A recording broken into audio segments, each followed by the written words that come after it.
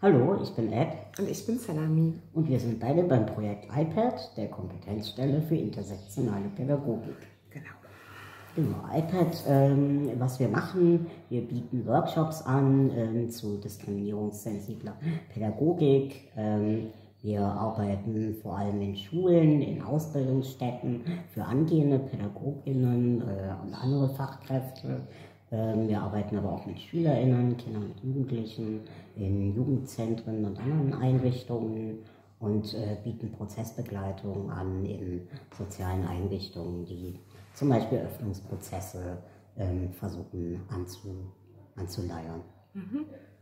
Genau, und äh, sowohl Ed als auch ich haben äh, Erfahrung äh, oder haben mehrere Jahre in der psychosozialen Beratung gearbeitet. Ähm, bei des Migras, bei Lambda und, äh, bei Glad. und bei Glad.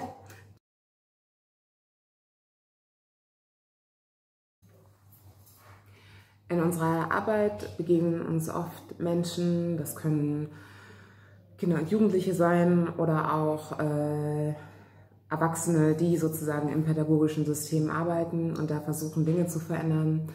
Ähm, also Menschen begegnen uns mit äh, Themen, die manchmal ziemlich hart sind. Also zum Beispiel, dass, äh, dass uns Kinder und Jugendliche von ihren eigenen Diskriminierungserfahrungen berichten, denen sie sich relativ hilflos ausgeliefert sehen.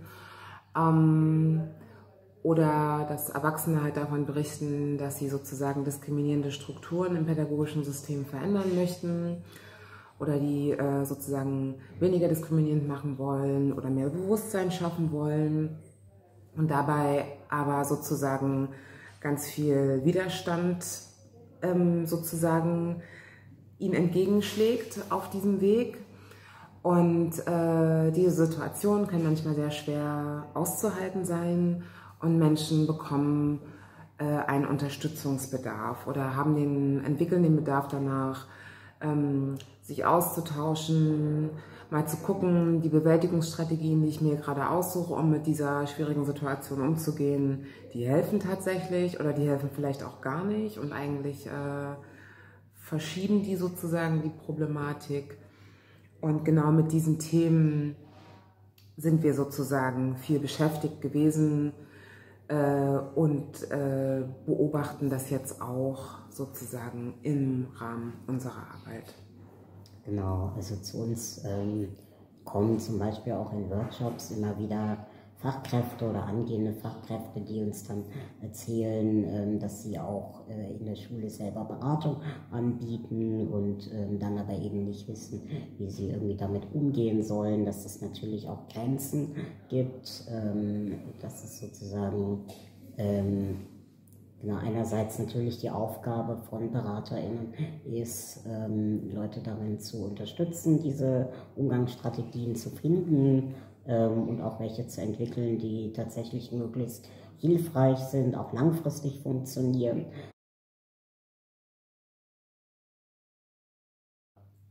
Na, jetzt ist es ja so, dass das äh, Schulsystem, so wie wir es kennen, das Regelschulsystem, ein sehr autoritäres System ist, ähm, sehr einschränkend für SchülerInnen ähm, und eben auch für äh, Fachkräfte, die ähm, vor allem Mehrfachdiskriminierung erfahren. Ähm, und da ergeben sich natürlich ganz viele Problemlagen daraus, ähm, sich darin zurechtzufinden.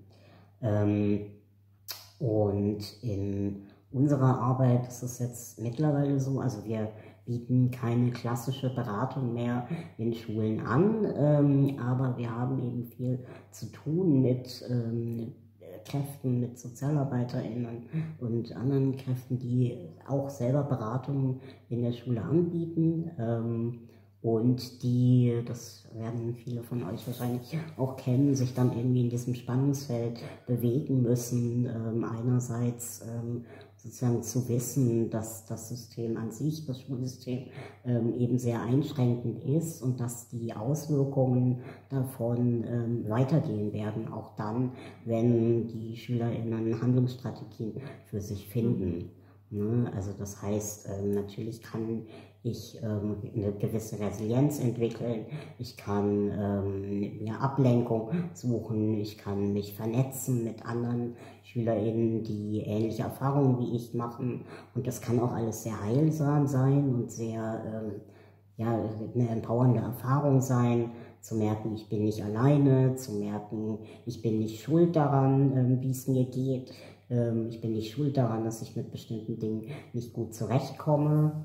Ähm, aber, und das ist natürlich auch ein Druck, der dann auf den beratenden Kräften lastet, ähm, dass man äh, an den Punkt kommt, ähm, zugeben zu müssen, dass die Erfahrungen aber weitergehen werden. Mhm. Genau. Und an dem Punkt, an dem Punkt befinden wir uns halt vor allen Dingen mit äh, einem intersektionalen Ansatz. Ähm, an so einer klassischen Schnittstelle davon, also da geht ein Spannungsfeld auf, ähm, was einerseits ähm, beinhaltet, dass wir bestimmte Problemlagen analysieren können. Also wir können sagen, ähm, hier gibt es ein System, was so und so funktioniert, ähm, was für die und die Menschen funktioniert und was für diese Menschen aber zum Beispiel nicht funktioniert. Also was systematisch ähm, bestimmte Gruppen bevorteilt und andere eben eher benachteiligt werden.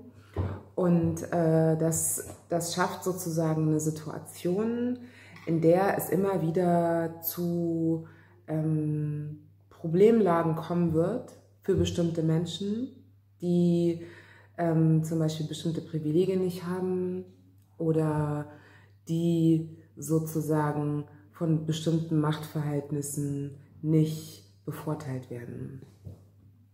Ähm, und da das was Wiederkehrendes ist, befinden wir uns halt, wir befinden uns in so einer Suchbewegung äh, dazu, den, den richtigen Ansatzpunkt zu finden zwischen dem Arbeiten mit einem System, was sich erstmal so schnell nicht ändern wird und was ein großes Gewaltpotenzial beinhaltet und andererseits ähm, aber natürlich sind wir sehr stark damit beschäftigt, Menschen zu empowern und zu bestärken, individuelle Umgangsmechanismen zu finden oder Strategien zu finden, um in diesem System nicht unterzugehen. Obwohl wir das System nicht ändern können. Und das ist immer wieder eine Herausforderung, auch für uns, weil ähm, das natürlich ein sehr großes äh, Frustrationspotenzial auch birgt.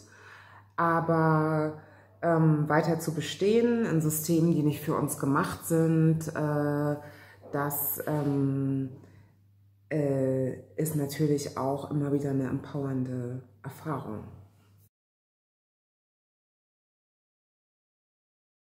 Diskriminierungserfahrungen und vor allen Dingen Diskriminierungserfahrungen, die sich auf verschiedenen Ebenen unserer Identitäten abspielen, können zu nachhaltigen äh, Gesundheitsschäden führen.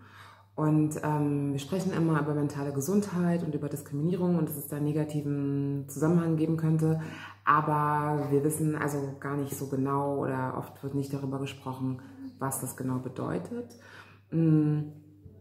Und äh, ich würde das mal so erklären, wenn wir sozusagen jeden Tag auf die Straße gehen und bestimmte Erfahrungen machen, die sich schädigend auf unser Wohlbefinden auswirken. Das heißt, ähm, wenn ich jetzt äh, jeden Tag äh, bei der Bäckerei, wo ich mir meine Brötchen kaufe, ähm, einen blöden Spruch bekomme, ähm, über den ich mich ärgere, den andere Leute aber nicht bekommen.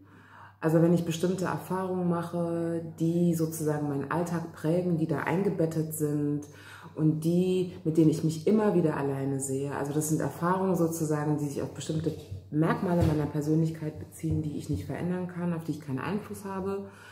Ähm, und äh, das auch Merkmale meiner Persönlichkeit sind, mit denen ich in der Minderheit bin, in dem gesellschaftlichen Kontext, in dem ich mich bewege.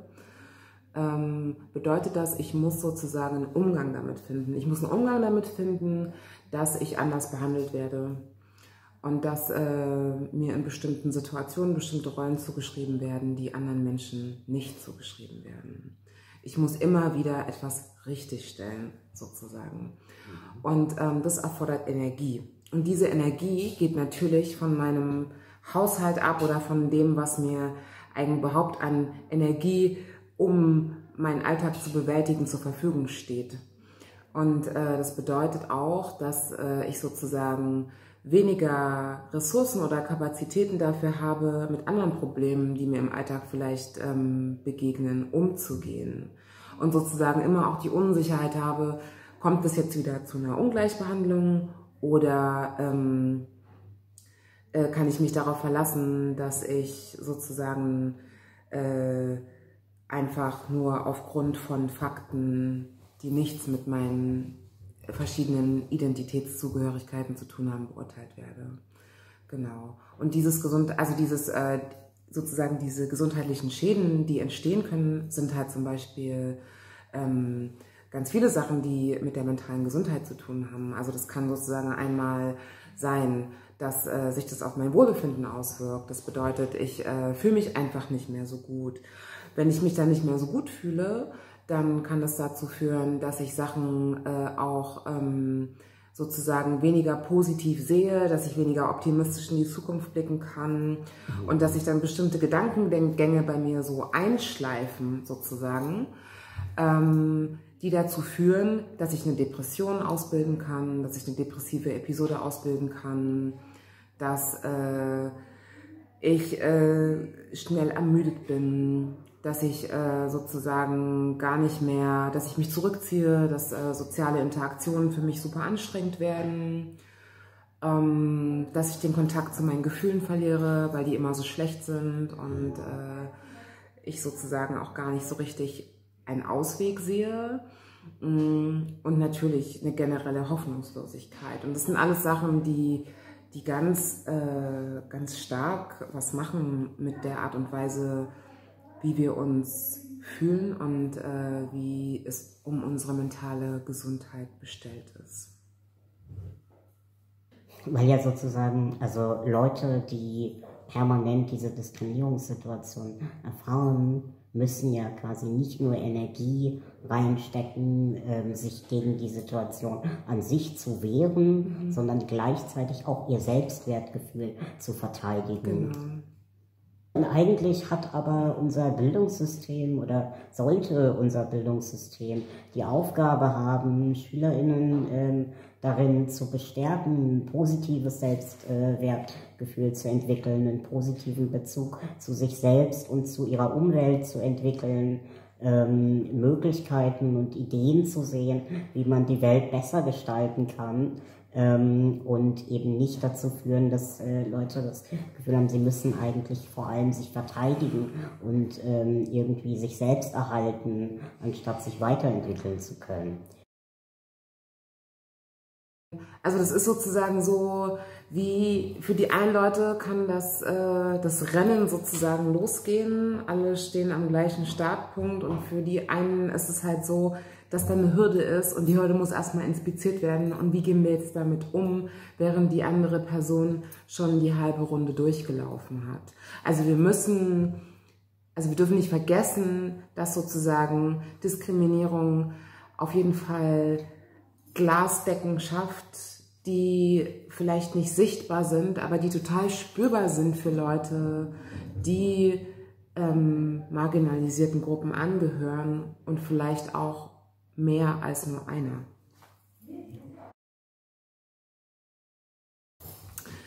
Ähm, abschließend äh, ist es uns wichtig zu sagen, dass wir Beratung und Unterstützung für Menschen, die äh, Mehrfachdiskriminierung erleben, die intersektional gesehen von Machtverhältnissen benachteiligt werden. Ähm, also das ist für diese Gruppe total wichtig ist, ein total sinnvolles, äh, ähm, eine sinnvolle Unterstützungsform ist. Und uns ist auch auf jeden Fall wichtig zu sagen, in den Bedarf von Beratung und Unterstützung zu kommen, ist sozusagen kein Wunder bei den, bei den herrschenden Verhältnissen. Ähm, es ist eigentlich eher eine Nebenerscheinung des äh, täglichen äh, ähm, Struggles sozusagen bestehen, beste zu bestehen ähm, in dem System, in dem wir uns gerade befinden. Und äh, also scheut euch nicht, äh, sozusagen Unterstützung in Anspruch zu nehmen. Das, was uns an manchen Punkten entgegenwirkt und entgegenschlägt, das kann auch eigentlich keine Person alleine gut ähm, bewältigen. Ähm, deshalb ähm, sorgt frühzeitig dafür, dass ihr euch mit ähm, Menschen vernetzt, dass ihr euch austauscht, dass ihr auch ernst nehmt, wenn es euch nicht gut geht. Ähm, und versucht, also versucht nicht, das auf einer individuellen Ebene zu lösen, denn ihr könnt sozusagen ein systematisches Problem nicht individuell sozusagen auflösen. So, das ist einfach nicht möglich. Absolut, genau. Und deswegen würden wir auch sagen, dass äh, wenn man tatsächlich, wenn das jetzt hier auch Leute schauen, die sich vielleicht selbst in entscheidungstragenden Positionen befinden, ähm, dass es natürlich nicht möglich ist, die gesundheitsschädigenden Folgen eines autoritären, äh, diskriminierenden Systems aufzuheben, ähm, nur durch Beratung und Unterstützung für die jeweils mhm. betroffenen mhm. Personen, sondern dass das genau. unserer Auffassung nach überhaupt gar nicht funktioniert, ohne an irgendeinem Punkt strukturelle Änderungen auch tatsächlich durchzusetzen und zu sagen, das, was überhaupt diese ähm, Schwierigkeiten verursacht, muss aufhören. Ähm. Ja. So. In dem Sinne. Danke fürs Schauen und habt eine gute Mental Health Week genau. mit den anderen Inhalten. Und unterstützt euch schön weiter, gegenseitig. Tschüss. Tschüss.